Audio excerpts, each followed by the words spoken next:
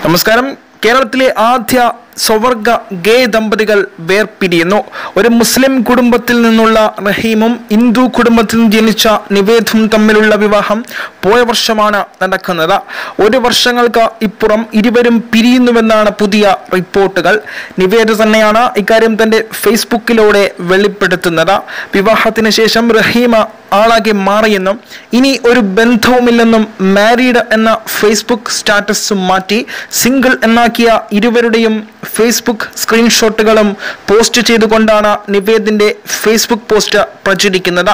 Post ശ്രദ്ധയിൽപ്പെട്ടത് മുതൽ നിവേദിന് ഒരു കല്യാണം കഴിച്ച് ജീവിച്ചുകൂടെ എന്നുള്ള കമന്റുകളും ഒപ്പം അനുകൂലിച്ചും പ്രതികൂലിച്ചുമുള്ള കമന്റുകളും പോസ്റ്റിന് താഴെ തന്നെ നിറയുകയാണ്.